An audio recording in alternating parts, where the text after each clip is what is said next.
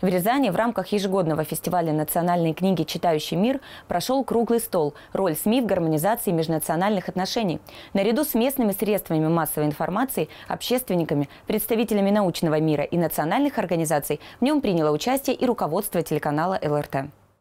В Рязанской областной библиотеке имени Горького в рамках фестиваля национальной книги «Читающий мир» прошло несколько событий, посвященных межнациональной тематике. На этом круглом столе обсуждали влияние СМИ на отношения между народами России. Не случайно э, эти все события проходят в библиотеке. Я уверена, что и в Московской области, просто знаю, э, библиотеки э, нужно, важно и можно использовать как тот самый ресурсный центр э, по, э, в работе вот по этой важной, тонкой и очень сверхчувствительной теме. Люберцы и наш телеканал на мероприятии представила Екатерина Дегтярева. Генеральный директор ЛРТ рассказала о том, что освещение межнациональных национальных отношений – один из главных векторов деятельности телекомпании. За несколько лет канал выпустил более 500 видеоматериалов на эту тему, и что очень важно, работает коллектив ЛРТ согласно этическому кодексу журналистов. Одним из таких э, принципов главных это звучит так.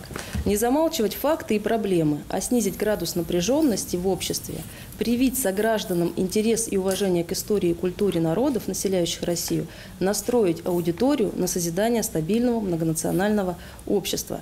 И самый главный принцип – это быть объективным, непредвзятым и э, то есть полной информацией владеть и, соответственно, ее подавать. Екатерина Дегтярева озвучила предложение проводить обучающие семинары не только для журналистов, но и для руководителей средств массовой информации, чтобы межнациональная журналистика меньше совершала ошибок, не раздувала конфликты ради рейтингов, а мирно передавала информацию, которая оказывает влияние на всех, в том числе и на детей. Такое предложение вызвало поддержку участников круглого стола. И вот сегодня духовная э, такая угроза России со всех сторон она и усиливается, и она э, на сегодняшний день заставляет нас, в том числе жителей Рязани, очень внимательно, очень вдумчиво, очень корректно э, смотреть и, конечно, обучать и готовить нашу молодежь, наших детей, э, определить им хорошее, стабильное, мирное будущее. Пожар.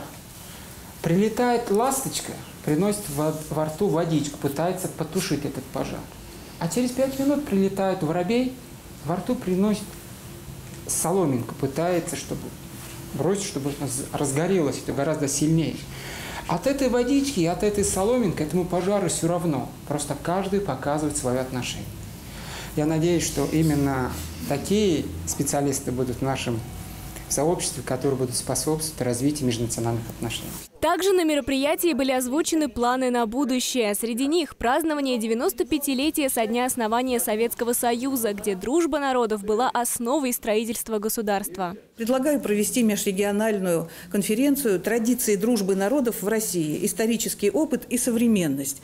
И к этой дате, э, может быть, провести конкурс на лучшее освещение в СМИ деятельности национальных и религиозных общественных организаций с участием, конечно же, гильдии межэтнических исторической журналистики. Кроме того, было предложено организовать пресс-тур, поддерживающий межнациональные связи, посадить парк дружбы, издать книгу народов России и на регулярной основе проводить общественные слушания и уроки дружбы в школах. Наталья Григорьева, Яна Яковлева, Кирилл Евгеньев. Телеканал ЛРТ. Привет! Я Анна Троян, вы смотрите ЛРТ. Подписывайтесь на наш канал на Ютубе и ставьте лайки. Будьте в курсе самых важных событий.